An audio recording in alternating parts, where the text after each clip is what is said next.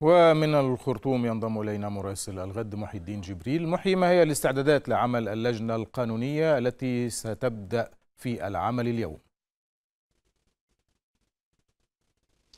صباح الخير أحمد. حتى الآن المعلومات التي تم إبلاغنا بها هو أنه فعليا ستبدأ لجنة قانونية مصغرة من أربعة أشخاص. اثنان من كل طرف. هذا إلى جانب السكرتارية طبعا في إعداد مسودة الاتفاق بصورته النهائية ولكن لم يتثنى لنا الحصول على معلومة عن مكان انعقاد هذه الاجتماعات ويعني ساعتها تحديدا. نتوقع أن تكون بعيدة عن الإعلام لطالما هي إعداد مسودة قانونية بكل تعقيداتها وتفصيلاتها.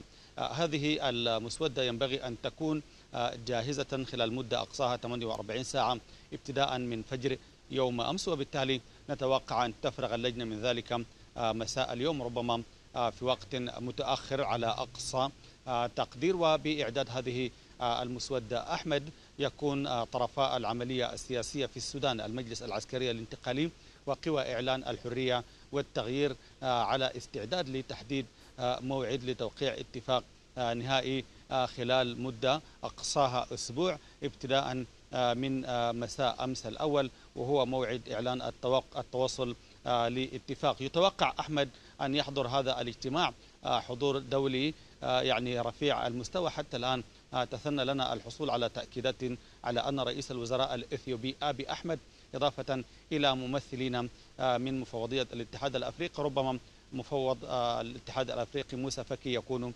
حضورا بطبيعة الحال باعتبار أن أديس أبابا والاتحاد الأفريقي هم الذين هندسوا هذا الاتفاق وهم الذين قادوا طرفا النزاع في السودان إلى بر الأمان بالضغط عليهما بكل على كل الأطراف حتى يتوصلوا إلى هذا الاتفاق الذي أنهى 30 يوما من الاحتقان والشد الأمني والسياسي المتواصل في السودان. بعد ذلك يتوقع أن يتم الإعلان عن رئيس الوزراء أيضا في مدة أسبوع ابتداء من صبيحة يوم أمس أن يسمى رئيس الوزراء بالتوافق بين الطرفين الحرية والتغيير والمجلس العسكري. طبعا الحرية هي التي سترشح اسم رئيس الوزراء ليبدأ بعد ذلك التشاور مع الطرفين لتشكيل الحكومة من حكومة الكفاءات التي طالبت عدة جهات من بينها تنظيمات فاعلة في الحرية والتغيير أن تكون هي تحتوي على أسماء يعني غير الأسماء الحزبية التي كانت قد سطعت في الفترة الماضية كنجوم سياسيين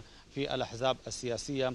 الماضية وهذا ما تحققنا منه بالفعل باتصال مع ساطع الحاج وهو واحد من الذين تم ترشيحهم أو يعني تداولت معلومات عن أنه سيتولى حقيبة العدل في هذه الوزارة وأكد أنهم في الحرية والتغيير توافقوا نعم. ميثاق غير معلن على أن حكومة الكفاءات يجب أن تشمل أسماء بعيدة من نجوم السياسة الحزبية محي الدين جبريل مراسل الغد من الخرطوم شكرا لك